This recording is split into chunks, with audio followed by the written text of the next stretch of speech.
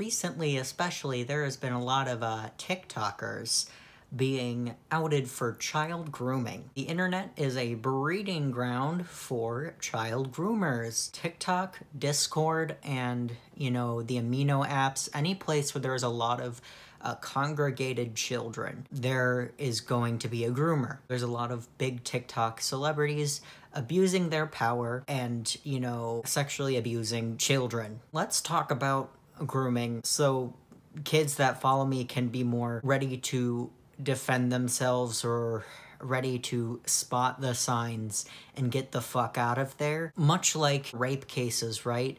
It's the rapist's fault, it's never the victim's fault. But still, we should be giving possible victims the tools necessary to protect themselves. It shouldn't be a thing, but it is. So let's give you the tools necessary. And I will be focusing on online child grooming, but um, grooming can happen in real life by an adult that you're supposed to trust. It can also happen to other adults by adults, but I'm focused on online child grooming. Child grooming is befriending and establishing a connection with a child so that this adult can emotionally manipulate the child into doing whatever they want them to do through threats, violence, blackmail, um, this child groomer will uh, manipulate you into a place where you are dependent upon them and can't escape. And then make you an object of sexual abuse. The first thing a child groomer will do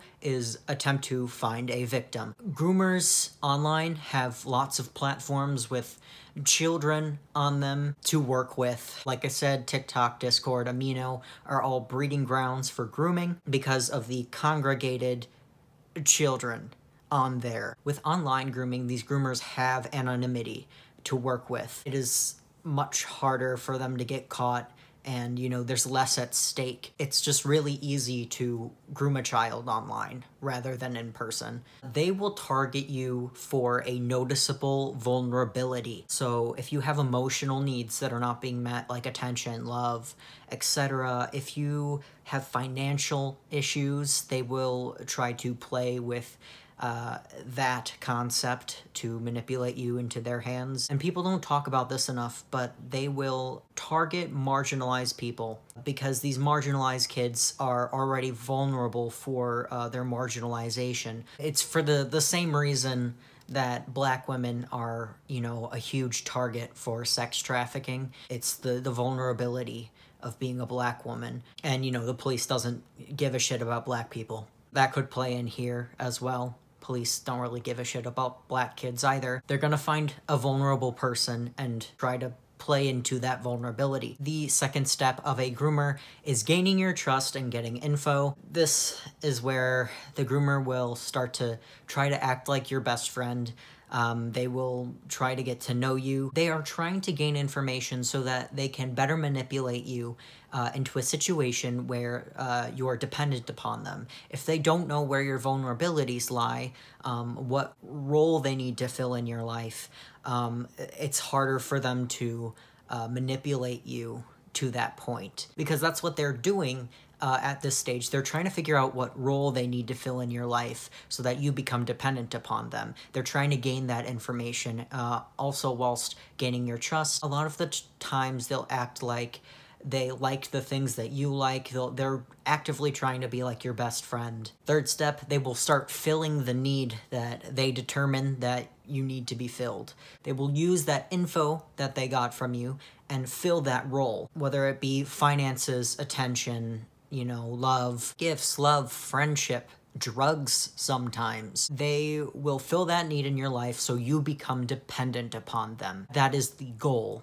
from the beginning is to get you to be dependent upon them. Step four, uh, isolation. This happens across abusive relationships, not just child grooming situations. If there is a point where they're trying to isolate you, put a wedge between you and people that you love, get the fuck out of that relationship, this uh, child, adult, any type of abusive relationship, this is a big fucking red flag. And then five is the abuse. They say that the stuff that they gave you, whether it be gifts, love, finance, etc., needs to be repaid. Um, they will guilt you into doing, you know, sexual acts for them. Uh, a lot of the times online, um, they will either start to, you know, ask to meet you in real life, and in which case you should not do that. But a lot of the times this does come in like photos, sexual photos, and like phone sex and shit. Through threats, violence, uh, blackmail,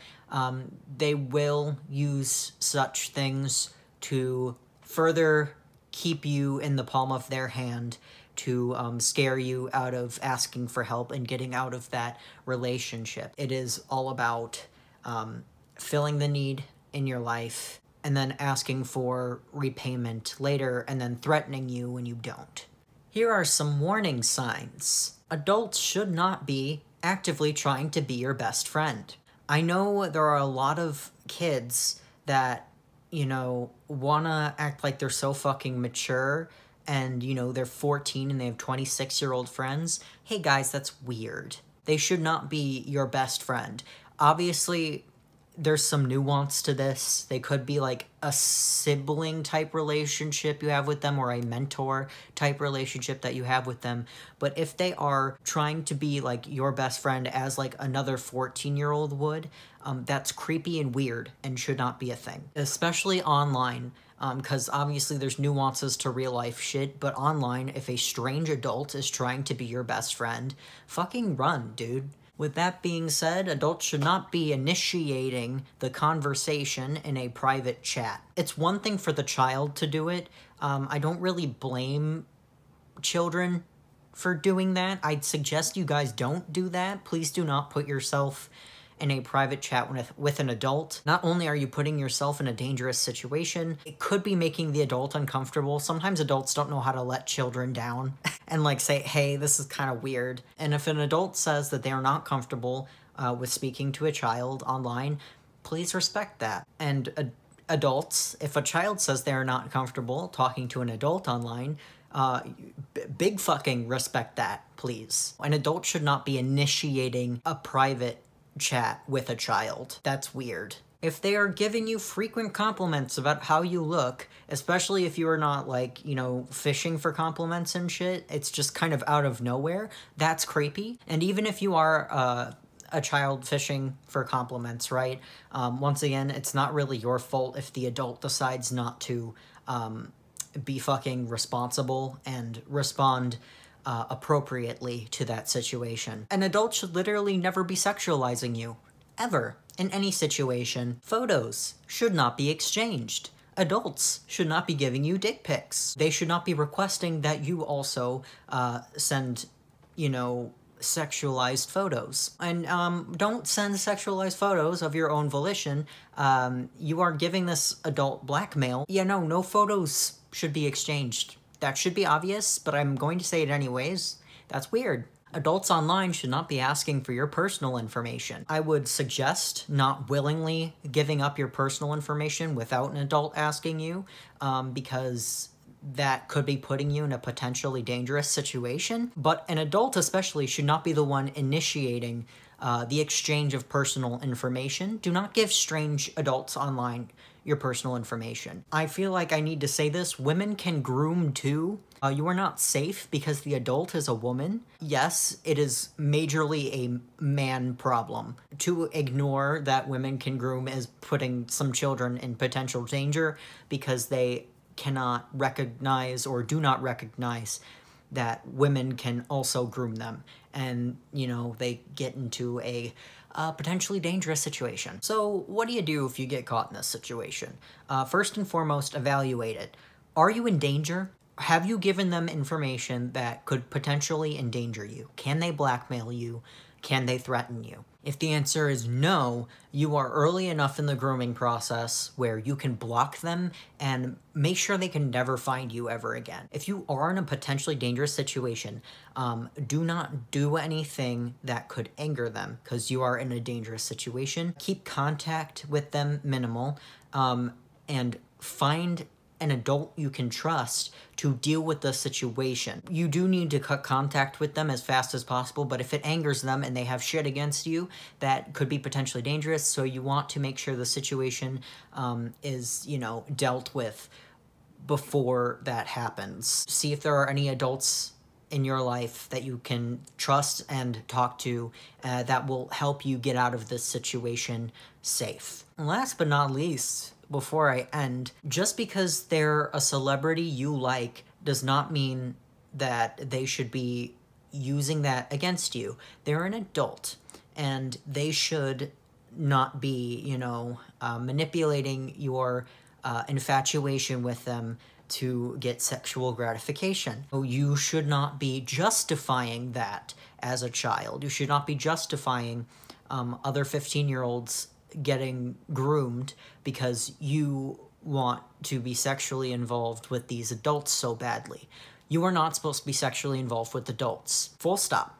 I don't care how infatuated you are with this celebrity adult, they should not be grooming you. They should not be doing sexual shit with you, and you should not be justifying that. You are not mature, and you are not mature for your age. Okay? Stop. You are a child, and adults should not be sexualizing you. You are not mature for your age. Stop it. Be a child. And in fact, um, sometimes groomers will say shit like, wow, you're so mature for your age, as you know, boost your ego and gain your trust. So I, I would not play into that, you know, you're so mature for your age bullshit, okay? Get out of there if you see these warning signs. Be safe out there, and it should be noted that it is ultimately always the adult's fault, no matter what. The adult, uh, is the adult in this situation and they should have been more responsible. I, however, think it is good to give you um, the tools necessary to protect yourself. But in the end, it was not your fault. The adult should not have been grooming you. Please stay safe and don't let weird e boys on TikTok groom you.